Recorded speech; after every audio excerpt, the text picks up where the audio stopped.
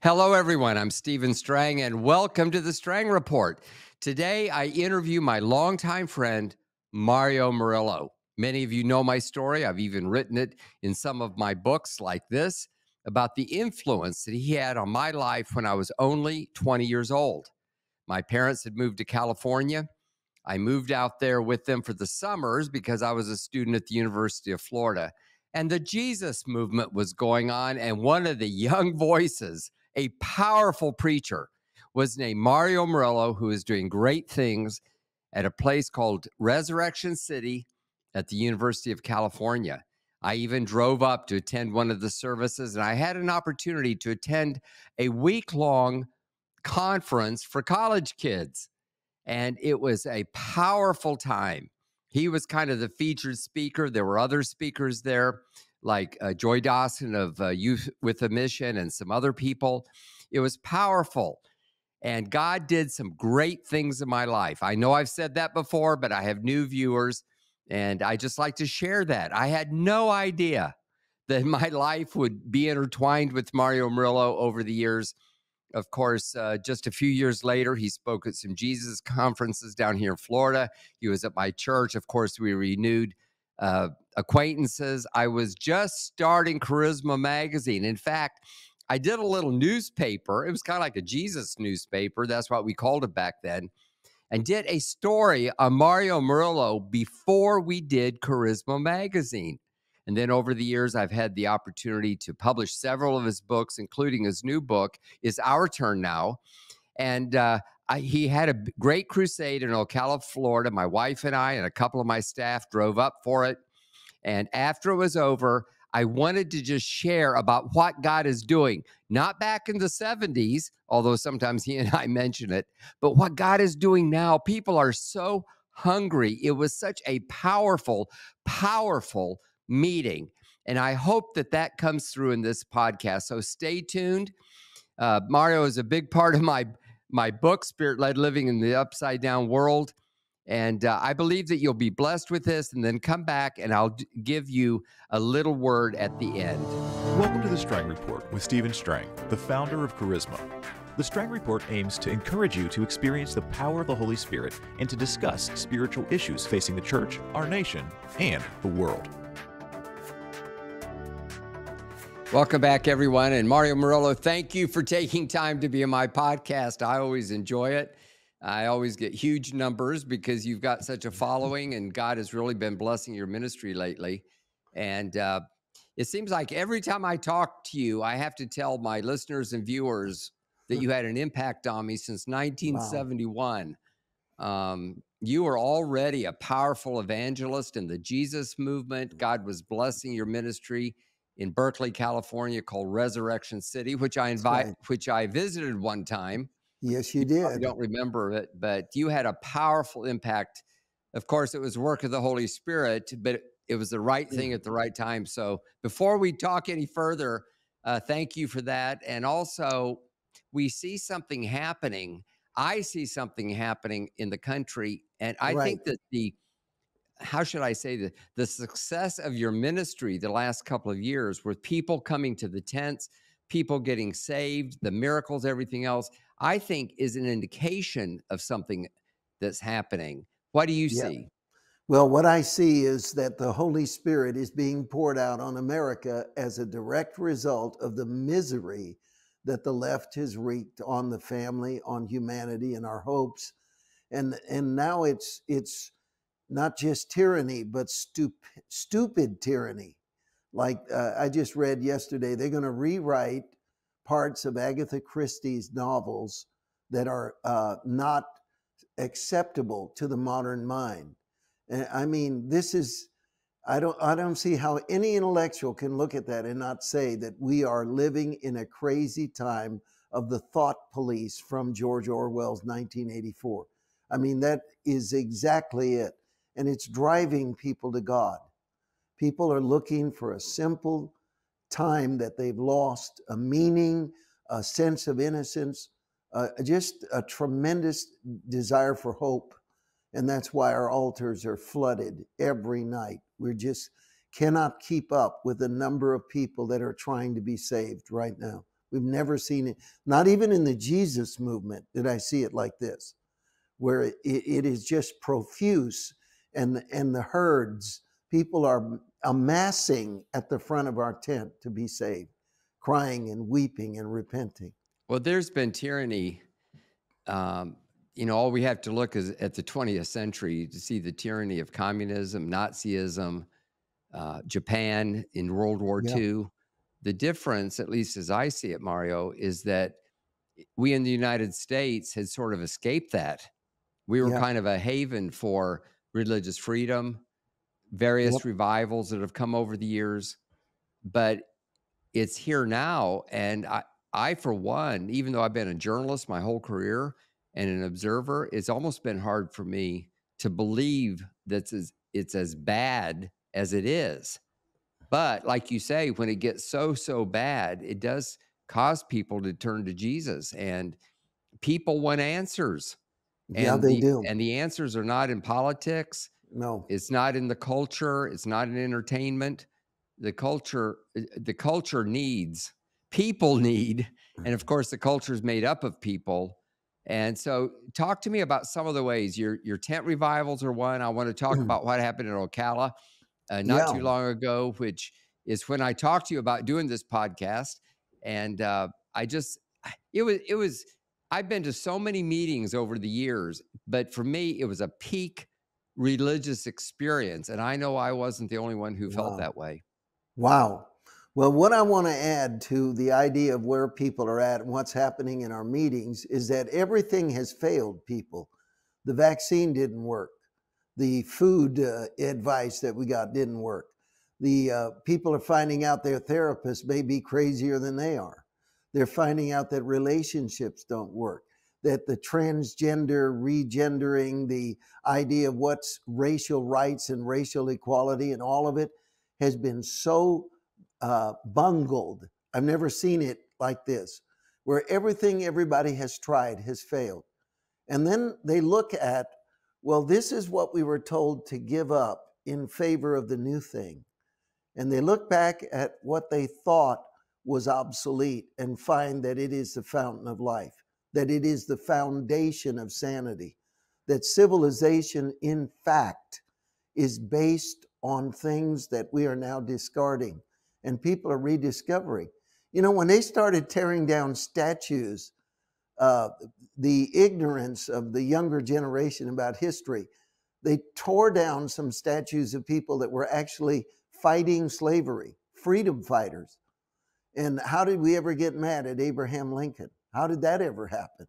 Well, that's all that's piled up. So in our meetings, people have asked me, what is the single greatest component?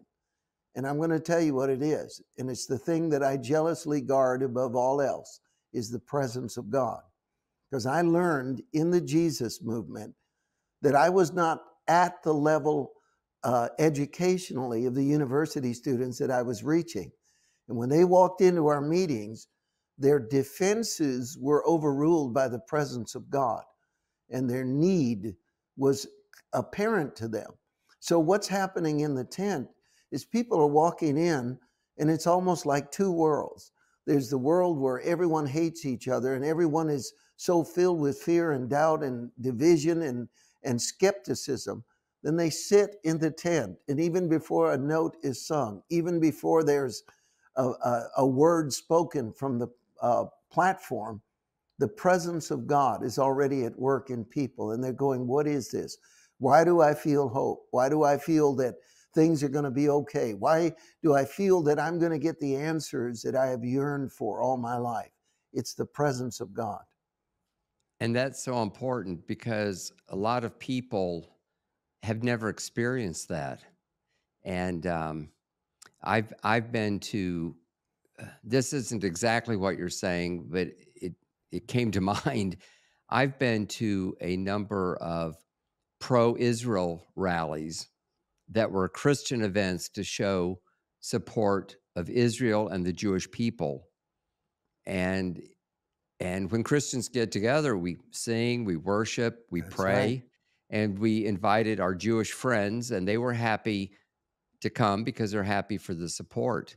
Mhm. And in one instance where I was the leader, I told the worship leader, I said, listen, when we sing, let's just worship. And wow. these Jewish people were so touched. And it was not an, an evangelism mm-hmm. thing, it wasn't a proselytizing thing. They were experiencing the presence of God. That's right. Which, if you go to a synagogue service, which I've been, been to numerous times, you know, you read the Torah, you, you know, you do the rituals, but there's no presence of God, at least no. as you and I would understand it. And and I grew up in the church. My father was a minister, so there was never a day that I wasn't around this kind of thing to some extent. But you're right; it it changes everything in the world. Everything, yes, it and, does. And I've seen even Christians who may theologically oppose some of these things, but boy, when they're touched by the Holy Spirit in a deep that's way, it. their theology changes just like that. And that's you kind of what you're talking about. People, yes, the intellectualism at the university level, whatever it is, it just disappears. Uh, are you seeing that in your meetings? You're having tent meetings. You're also in places like the Mabee Center or this this great venue that you were down here in Florida on are, are they similar or are some events different than others? Well, I think the similarity is the presence of God, like you said. The difference is that what we did in Ocala was to put two elements together that I, in my memory, have never been together. The practical instruction on how to activate your conservative Christian values on a local level with a miracle service that's evangelistic at night. So we had patriots show up in Ocala and they loved Trump, but they didn't know Christ. And suddenly they're confronted by the gospel in the evening and the miracles of God. And we had a, a flood of, of salvations that you saw. And so this is important because I really believe one of the dangers of conservative movement right now, which is getting sadly tagged as Christian nationalism, which is nothing more than a Christian believing and loving his country. That's all it is. Is that we constantly are raising the dire problems of the nation without any hope or practical solution for them. So, what happened is Jesus didn't just call the 12 disciples, he said, Wait for power in the upper room, and then you'll be my witness to Jerusalem, Judea, and the uttermost parts of the world. One of the shocking elements in the Bible is how Jesus snuck the idea that he was leaving in John 14. He just kind of snuck in the idea, hey, I'm going. He knew it would be a devastating thing for the disciples to find out that his physical appearance and presence was going to go away. So he said, Let not your heart be troubled, neither let it be afraid. Uh, I go to prepare a place for you. In my father's house, there's many mansions. And he goes, I must go. And that was where the thought was there. But he said, You have to understand, it's urgent that I go because the helper cannot come unless I go. Christianity became global when the Holy Spirit arrived. And what a lot of believers don't understand is the devil's number one objective in the Christian faith. If you were to say, what is the devil's top list thing? Is to keep the church from depending on the Holy Spirit to do the work in the culture. We, we believe we're supposed to do it. We, we depend on spin doctors and experts and theologians. We don't understand that the Spirit of God was tasked with being the commander in chief of the Christian forces on earth. He would educate them, he would strengthen them, he would provide for their emotions, their healings, their physical provision, and the tactics and strategies needed to infiltrate the culture. When the church has depended on the Spirit of God, she's been irresistible. Even Jesus said, He said, I will give you a mouth and wisdom that none of your enemy, uh, uh, opponents will be able to gainsay nor resist. That is what we need now is the Holy Spirit. That's what's bringing the presence into our tent. That's what's doing the job. Uh, I can't take credit for why all the crowds are showing up. Spirit of God's bringing them. We surrendered to the Spirit, and He gave us this wonderful opportunity and this effectiveness. It's a gift from God. You know, I was privileged to be able to sit where I could see the people when they flooded forward. Uh, Yeah. I, I, no one's really told me the number, but there had to be at least 800 people who came forward for salvation. And if I remember correctly, you even told them this is not free dedication or anything like that. I mean, in fact, in some ways, you made it hard for them. And they Yeah. came forward, and I could, I was up close where I could see the emotion and sense what was going on. And then in a different service, Lance Wallnau had people come forward. It was totally uh, unplanned to come forward to receive the baptism of the Holy Spirit and it, it was just it was just powerful and you know we need that sort of thing to happen not just in your Yeah. meetings but in churches and meetings and cities and everything around the country and you recently wrote a book and while this podcast is not literally about your book we can't fail to talk about it and I'll Thank you. just tell my viewers that I read part of your book very, very early in the process, but I had never read the whole thing. I just finished in the last week. Wow. And it was powerful at many different levels. And uh, I want you to just talk about it. It's called It's Our Turn Now. And you were talking about just how how people are uh, desperate eh, but and it, and it seems when you look at it from a sociological point of view that the other side is winning in so many ways but but you're saying it's our turn now so why don't you just el- elaborate on it because this is a book that people need to get it's available in Thank you. stores but probably easiest to get it online tell us what you hope people get from that book Okay, the first thing that we have to understand is that we live in an age, ladies and gentlemen, where trends are the things that are studied most. What's going to happen next? What's going to happen? So there was a sociological book written called The Fourth Turning that was sold around the world. It went crazy. And experts began to redefine so much of what they believed because they said that every so many decades, four things happen. And the fourth turning is the most dangerous because at that point, a nation will either flip into paganism, chaos, and disintegration or into moral awakening. And for a long time after I read that book, I kept watching our nation, thinking to myself, what do I see? Is it going to flip this way or that way? And when all my contemporaries were filled with such despair, God dealt with me two years ago. He said, There's a trend that is the greatest undercurrent, one of the greatest spiritual undercurrents in American history. And you'll see it.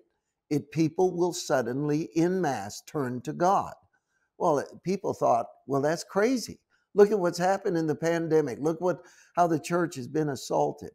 Then suddenly we had a NFL player have a heart attack, and we watched God capitalize on that to suddenly legalize prayer in the NFL instantly. And then it led to Asbury, and then suddenly the Jesus Revolution movie came out, and we watched in our meetings, it's the tide just rose overnight. And suddenly we were faced with a shortage of workers and a massive harvest. Well, I wrote the book before all of that happened, and I knew it was coming. And I, you know, I said, I'm going to skip a step. I'm going to quit writing a book that predicts the future and assume that what I'm predicting is so going to happen that I'm going to write a manual about what to do when it starts happening. And I can't believe how on time. I got to give God the glory. When I look at It's Our Turn Now, it, I read it myself and I look at it and I'm shocked. It's like this was the manual in advance of the event. So now we can seize this. Jesus told them, Look, you, you did not know the hour of your visitation. We can know it. That's the difference with Americans right now. We can know it, we can seize it, we can shred and shed all of these despondent feelings about what is the World Health Organization going to do? What is woke going to do? What is the devil going to do? And realize that God has set the table for the church to preach a simple message that's going to reap amazing results. Well, I say amen to that. And this is the book, is our turn now. Full disclosure, I am the publisher. Um, but I have I've published a thousand books and I like to sell all of them. But this one goes way beyond that. This is a message. Not only should the viewers and listeners uh, read themselves, but we need to get this out to people. And I, for one, have been talking about this every single day ever since I, uh, for a long, long time because I believe in it so much. And thank you for the privilege. You've had several publishers over the years, and and we feel very pub, uh, privileged that you had let us publish it. I believe that strongly in it. So let's get back to uh, uh this move of the Holy Spirit. Yes, sir. We we've kind of touched on it, but this is more than just people getting saved. This is the power of the Holy Spirit, and um, you know that I wrote uh, a book that won't be out until right before Pentecost Sunday called Spirit Led Living in an Upside Down World.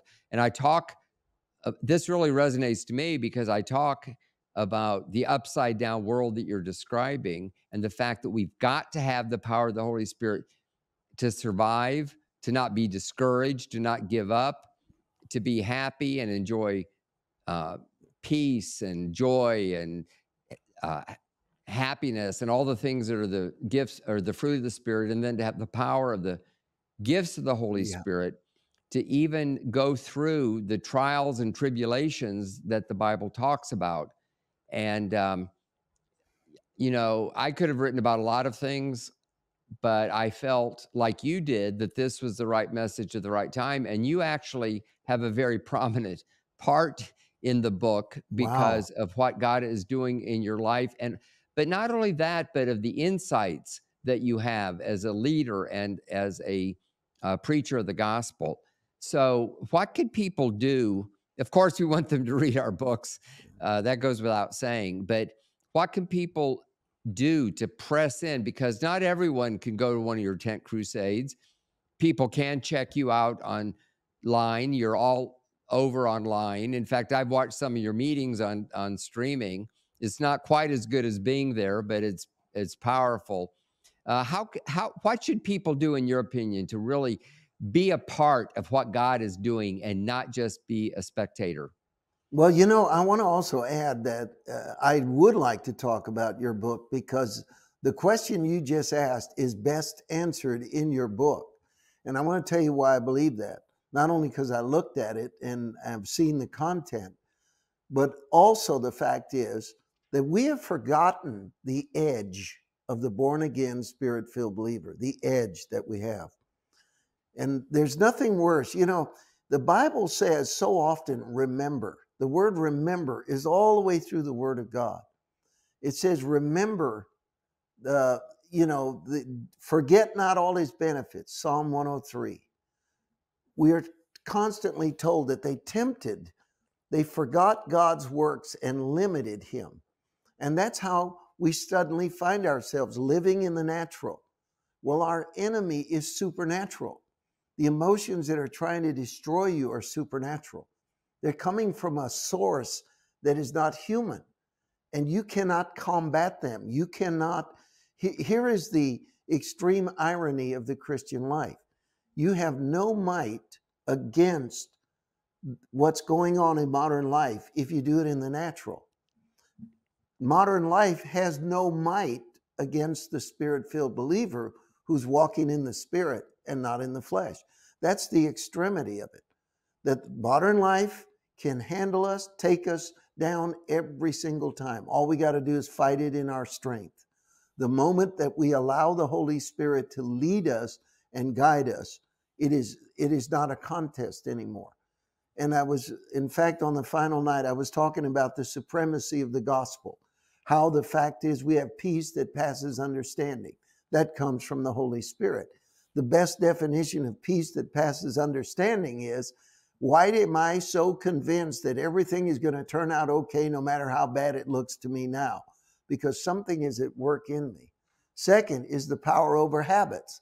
which nothing in the world matches the believer's power to get over addictions when the Holy Spirit is engaged.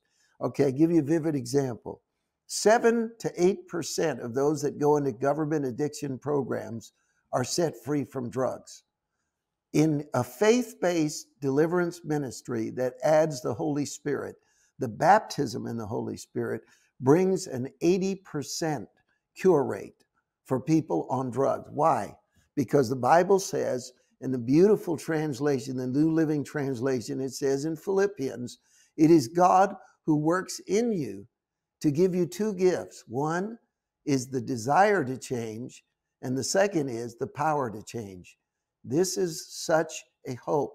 Imagine if you surrender to God right now, you're watching, and you surrender to God and say, My habit, my emotional destruction, the things in my past that every expert tells me is incurable, and I'm going to limp through life for the rest of my existence.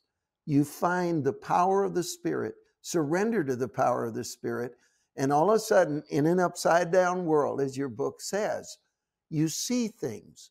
So it, it's you, you get direction, you get emotional release, you get physical healing, you get mental protection, the gift of sanity, the gift of discernment. The edge that the believer has starts to make it incredible that you can thrive, blossom as a person in the darkest of times. And it's happened before. I mean, to think of the beautiful books that Paul wrote in prison, in the most unlikely and uninspiring element, he came up with the most precious words that the human race has ever heard. That's what we are. We're capable of not only going against the grain, but living above the fray with a reality, not escapism. It's not like what Buddhism says to deny reality and or or to eh, just ignore it. We can confront it. Eh, the power of the Christian faith is seen in one statement that Jesus made. I don't pray that you take them out of the world. He, he said, don't take them out, leave them in. Because unlike everybody else, we don't have to live in a monastery, in a cabin, in a bomb shelter. We can go to our daily life, go to work, go to a woke culture, and have with us a surpassing presence and power and sense of direction that makes us able to stand against anything. That's an amazing promise. And that's why I like your book, because that's what I believe it offers people is that that single ability that they need. Well, thank you very much. Um, you said so much. We don't really have time to dissect it in a short podcast like this. But as we wrap up, I'd like you to pray and to pray for the listeners and the viewers. And then after you pray, I'll be back with a closing thought. Now, Father, in the name of Jesus, I just say this to the people. I say, Lord, bless them. Lord, touch them. Lord, give them an awareness of your presence in every one of their situations. Help them to know that the prayers for their children and their grandchildren will be answered, that the redeemed of the Lord will see their, their will on their enemies and on evil. Give them strength, give them healing, give them hope. Fill them, Lord, with the fire of God so that they can win souls, lay hands on the sick, cast out devils, and be aware that every day on this earth is a privilege and not a curse. In the name of Jesus, I ask. Amen. Thank you for staying tuned. I hope you enjoyed that. I enjoyed that so much. I enjoy every single time I'm around Mario. You know, he's a couple years older than me, not much. He and he's been in ministry now for over 50 years but the Holy Spirit has just stirred him up in an exciting way. I hope you'll want to uh, buy my new book. It's releasing May 16th. It's called Spirit Led Living in an Upside Down World. It's available at Amazon.com. It'll be in bookstores as of May 16th. If you want an early copy, you can get it on my own website, stevestrangBooks.com. I'm starting to do live podcast. When I do them, I'll do them at 4 p.m usually Tuesdays and Thursdays. Sometimes I have to travel. I'll do them another day, but the best way is you can subscribe. And when you do, you'll be notified when I come on live. And uh, I hope that you do that. Thank you for watching. God bless you. Thank you for listening to the Strang Report with Stephen Strang. Stay up to date with the latest episodes by subscribing on YouTube and Rumble, as well as your favorite podcast app at cpnshows.com. Get the latest reports delivered directly to your inbox by subscribing to the newsletter at strangreport.com. In an upside down world, there is only one way to stay grounded. Life is full of twists and turns, successes and setbacks. How can you reach your God given potential and achieve your dreams? With over four decades of reporting on the move of the Holy Spirit around the world, Stephen E. Strang has firsthand experience of how the Holy Spirit has led him on a remarkable journey of faith and a successful life. In his new book, Spirit Led Living in an Upside Down World, he will invest his true life lessons into the hearts of readers as he reveals his secrets to having a successful life led by the Holy Spirit. Go to booksbystevestrang.com to pre order your copy today.